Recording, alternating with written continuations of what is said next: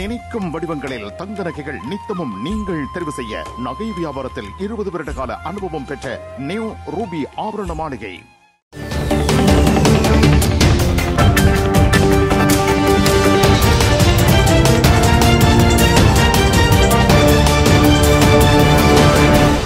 படைத்தரப்பு வசமுள்ள பொதுமக்களின் காணிகளை விடுவிப்பது தொடர்பில் முக்கிய கலந்துரையாடல். அனைத்து ஜனாதிபதி வேட்பாளர்களும் ஒரே மேடையில் மக்களின் கேள்விகளுக்கு பதிலளிக்க ஏற்பாடு. எழுகதமிழ் எழுச்சி பேரணிக்கு ஆதரவு கோரி வவுனியாவில் விழிப்புணர்வு பேரணி. இலங்கைக்கு பாராட்டு தெரிவித்த டோஹா ஜனாதிபதி. ஜாழ் பல்கலையில் தொடரும் உண்ணாவிரத போராட்ட களத்தில் சி வி விக்னேஸ்வரன். எழுகதமிழ் எழுச்சி பேரணியில் ஒன்றிணையுமாறு ஆதீன குறுமுதல்வர் அழைப்பு. ஜாழ் மக்களின் பெரும்பான்மை ஆதரவை பெற்ற மைத்திரி சர்வதேசத்திலிருந்து எழும் எதிர்ப்புகள் தேர்தல் நேரத்தில் சமூக வலைத்தளங்களை கண்காணிக்க நடவடிக்கை.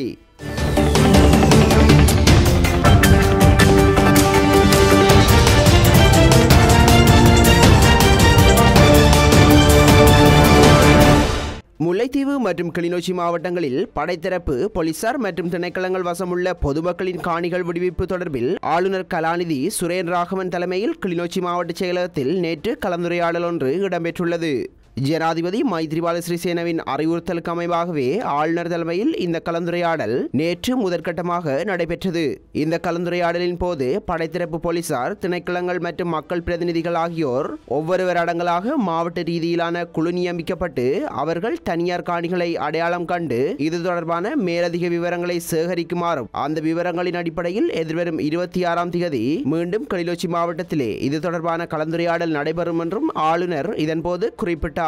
வடமாகாணத்தில் படைத்தரப்பு போலீசார் மற்றும் திணைக்களங்கள் வசமுள்ள பொதுமக்கள் காணிகளின் உரிமையாளர்கள் புலம்பெயர்ந்து வெளிநாடுகளில் வசித்து வருவார்களாயின் அவர்கள் உடனடியாக தமது காணிகளை பதிவு செய்யுமாறும் ஆளுநர் இதன்போது தெரிவித்தார். இந்த கலந்துரையாடலில் நாடாளுமன்ற உறுப்பினர்களான மாவை சேனாதிராஜா சால்ஸ் நிர்மலநாதன் சாந்தி ஸ்ரீஸ்கந்தராசான் முல்லைத்தீவு மற்றும் கிளிநொச்சி மாவட்ட அரசாங்க அதிபர்கள் கிளிநொச்சி மற்றும் வன்னி படைகளின் கட்டளை அதிகாரிகள் பிரதேச செயலாளர்கள் உள்ளிட்டோர் கலந்து கொண்டனர்.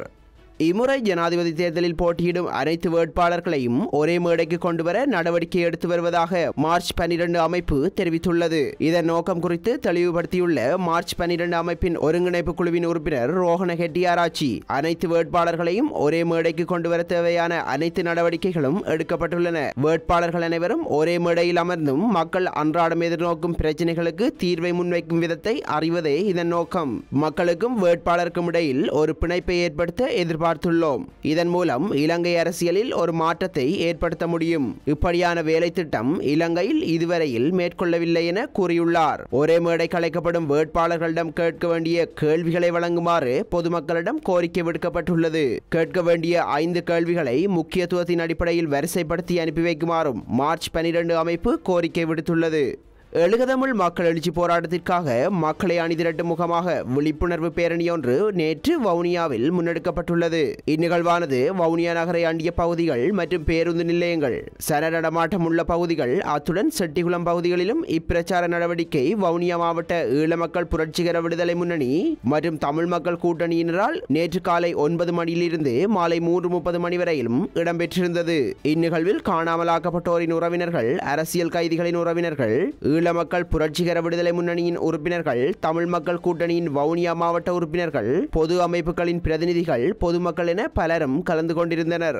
இலங்கைக்கு இரண்டு நாள் உத்தியோகபூர்வ விஜயம் மேற்கொண்டுள்ள டோஹா ஜனாதிபதி நேற்று முன்தினம் பிற்பகல் ஜனாதிபதி செயலகத்தில் ஜனாதிபதி மைத்ரிபால சிறிசேனவை சந்தித்துள்ளார். ஜனாதிபதி செயலகத்திற்கு வருகை தந்த டோஹா ஜனாதிபதியை இலங்கை ஜனாதிபதி மைத்ரிபால சிறிசேன மிகுந்த நட்புறவுடன் வரவேற்றார். டோஹா ஜனாதிபதியின் இலங்கைக்கான விஜயம் இரு நாடுகளுக்கும் இடையே பொருளாதார வர்த்தக மற்றும் முதலீட்டு உறவுகள் மேம்படுவதற்கு ஏதுவாக அமையும் எனவும் ஜனாதிபதி இதன்போது தெரிவித்தார். முன்னணி இலங்கை வர்த்தகர்களுடனான சந்திப்பொன்றில் நேற்றைய தினம் தான் கலந்து கொள்ள உள்ளதாக குறிப்பிட்ட டோஹா ஜனாதிபதி. இலங்கை முதலீட்டாளர்களுக்கும் வர்த்தகர்களுக்கும் டோஹா நாட்டிலுள்ள புதிய முதலீட்டு வாய்ப்புகளுக்காக தாம் அழைப்பு விடுப்பதாகவும் குறிப்பாக ஆடை உற்பத்தி துறை சார்ந்த வியாபாரிகளுக்கு கூடிய முதலீட்டு வாய்ப்புகளை பெற்றுக் கொடுக்க தேவையான நடவடிக்கைகளை எடுப்பதாகவும் அவர் கூறியுள்ளார். ஏப்ரல் இருபத்தி ஓராம் தேதி தாக்குதலின் பின்னர் பயங்கர பயங்கரவாத செயற்பாடுகளை ஒழிப்பதற்கு மிக குறுகிய காலத்திற்குள் இலங்கை அரசாங்கமும் பாதுகாப்பு துறையினரும் இணைந்து மேற்கொண்ட வெற்றிகரமான நடவடிக்கைக்கு டோஹா ஜனாதிபதி பாராட்டு தெரிவித்தார். மேலும் எதிர்வரும் சனிக்கிழமை தமது நாட்டில் ஆரம்பமாக உள்ள சர்வதேச பயங்கரவாதம் பற்றிய சம்மேளனத்தில் பயங்கரவாதத்தை ஒழிக்கும் நடவடிக்கையில் இலங்கை பெற்றுக்கொண்டுள்ள முன்னேற்றம் தொடர்பில் தெளிவுபடுத்த தாம் எதிர்பார்ப்பதாகவும் அவர் கூறியுள்ளார். குறுகிய கால பகுதியாயினும் டோஹா ஜனாதிபதியின் பயன்மிக்க இலங்கை விஜயம் தொடர்பில் தமது மகிழ்ச்சி தெரிவித்த ஜனாதிபதி ஆப்பிரிக்க நாடுகளுடன் பொருளாதார உறவுகளை ஏற்படுத்திக் கொள்ளல் தொடர்பில் இலங்கை கூடுதல் கவனம் செலுத்தியுள்ளதாக குறிப்பிட்டுள்ளார். இரு நாடுகளுக்கும் இடையிலான ஒத்துழைப்பு மற்றும் நட்புறவு டோஹா ஜனாதிபதியின் இந்த விஜயத்துடன் மென்மேலும் பலப்படுத்தப்படும் என தெரிவித்த ஜனாதிபதி மைத்ரி டோஹா ஜனாதிபதிக்கு விசேட நினைவு பரிசொன்றையும் வழங்கினார். மேலும் இந்த சந்திப்பில் அமைச்சர்களான மங்கள சமரவீர அர்ஜுன் ரணதுங்க ரஞ்சித் அல்விகாரே ஜனாதிபதியின் செயலாளர் உதயார் செனவிரத்ன மற்றும் வெளிநாட்டு அலுவலர்கள் அமைச்சின் செயலாளர் ரவிநாத் ஆரியசிங்க உள்ள உள்ளிட்டோரும் பங்கு பெற்றிருந்தவை குறிப்பிடத்தக்கது. ஜாழ் பல்கலைக்கழக கல்விசாரா ஊழியர் ஆட்சேர்ப்பில் மோசடிகள் இடம்பெற்றுள்ளதாக தெரிவித்து முன்னெடுக்கப்பட்ட சுழற்சி முறையிலான உண்ணாவிரத போராட்டம் இரண்டாவது நாளாகவும் தொடர்கின்றது. இந்த போராட்டம் ஜாழ் பல்கலைக்கழக முன்றலில் நேற்று முன்தினம் ஆரம்பிக்கப்பட்ட நிலையில் இன்று வரை தொடர்ந்து வருகின்றது. இந்நிலையில் வடக்கு மாகாண முன்னாள் முதலமைச்சர் சி வி விக்னேஸ்வரன் போராட்ட களத்திற்கு சென்று போராட்டத்தில் ஈடுபட்டவர்களுக்கு ஆதரவு தெரிவித்துள்ளார். அத்தோடு அவர்களுடன் கலந்துரையாடலிலும் ஈடுபட்டதாக எமது பிராந்திய செய்தியாளர் தெரிவித்தார். ஜாழ் பல்கலைக்கழகத்தில் அண்மையில் கல்விசாரா ஊழியர்களின் வெவ்வேறு பதவி நிலை வெற்றிடங்களை நிரப்பும் பொருட்டு உயர்கல்வி அமைச்சிலிருந்து பெயர் பட்டியல் அனுப்பப்பட்டது. அந்த பட்டியலில் அரசியல்வாதிகளின் சிபாரிசுகளினால் வந்தவர்களே உள்ளதாகவும் அதனை ஏற்க முடியாது என தெரிவித்தே பல்கலை ஊழியர்கள் இவ்வாறு போராட்டத்தை முன்னெடுத்துள்ளனர். தமக்கான நீதி கிடைக்கும் வரையில் தொடர்ந்து போராட்டத்தில் ஈடுபட போவதாகவும் இனியும் தாமதிக்காது சம்பந்தப்பட்டவர்கள் உரிய நடவடிக்கை எடுக்க வேண்டும் என்றும் ஆட்சேர்ப்பில் பாதிக்கப்பட்டவர்கள் கோரிக்கை விடுத்துள்ளனர்.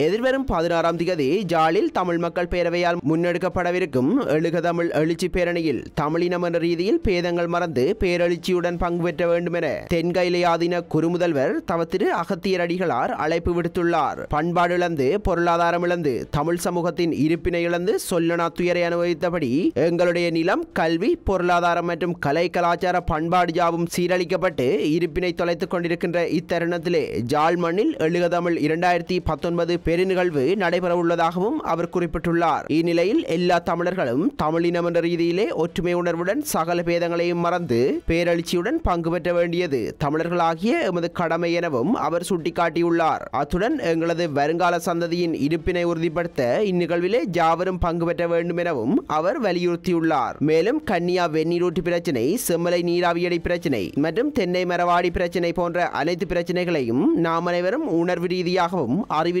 அமைதியாகவும் எதிர்கொண்டு ஒன்று திரண்டு எந்தவித பாகுபாடோ பகையோ இன்றி ஒருமித்த உணர்வோடு எழுகதமிழ் இரண்டாயிரத்தி பத்தொன்பது எழுச்சி பேரணியில் பங்கேற்போம் என தென்கையிலே ஆதின குறுமுதல்வர் தவத்திரு அகத்தியர் அடிகளார் தெரிவித்துள்ளமை குறிப்பிடத்தக்கது.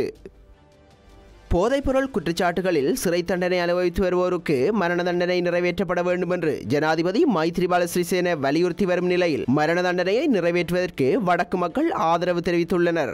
ஜாழ்ப்பாணம் முற்றவழியில் நடைபெற்ற என்டர்பிரைசஸ் ஸ்ரீலங்கா கண்காட்சியில் இது தொடர்பான கருத்து கணிப்பு ஒன்று நடாத்தப்பட்டது. ஜனாதிபதி செயலக அலுவலக கூடத்தில் இருந்து இந்த கருத்து கணிப்பு முன்னெடுக்கப்பட்டது. தொடுதிரையின் மூலம் மக்கள் வாக்களிப்பதற்கு ஏற்பாடு செய்யப்பட்டிருந்தது. அதில் வாக்களித்தவர்களில் தொன்னூற்றி மூன்று தசம் எழுபத்தி ஏழு வீதமானோர் மரண தண்டனைக்கு ஆதரவு தெரிவித்துள்ளனர். ஆறு தசம் இருபத்தி மூன்று வீதமானோர் மரண தண்டனையை நிறைவேற்றுவதற்கு எதிர்ப்பு தெரிவித்துள்ளனர். இலங்கையில் கடந்த நாற்பத்தி மூன்று வருடங்களாக மரண தண்டனை நடைமுறைப்படுத்தப்படவில்லை. மரண தண்டனை விதிக்கப்பட்டவர்கள் சிறைச்சாலைகளில் தண்டனை அனுபவித்து வருகின்றனர். இந்த நிலையில் போதைப்பொருள் கடத்தல் வர்த்தகம் தொடர்பாக மரண தண்டனை விதிக்கப்பட்டவர்களுக்கு தண்டனையை நிறைவேற்ற வேண்டும் என்று ஜனாதிபதி மைத்ரிபால சிறிசேன வலியுறுத்தி வருகின்றார். ஜனாதிபதியின் இந்த முடிவுக்கு உள்நாட்டிலும் வெளிநாடுகளிலும் இருந்து எதிர்ப்புகள் வெளியிடப்பட்டிருந்தன. மனித உரிமை அமைப்புகள் இந்த முடிவுக்கு கடும் கண்டனம் வெளியிட்டிருந்தமையும் குறிப்பிடத்தக்கது. தேர்தல் நடைபெறும் காலத்தை இலக்கு வைத்து ஃபேஸ்புக் மற்றும் சமூக வலைத்தளங்களின் செயற்பாடுகளை உன்னிப்பாக கண்காணிக்குமாறு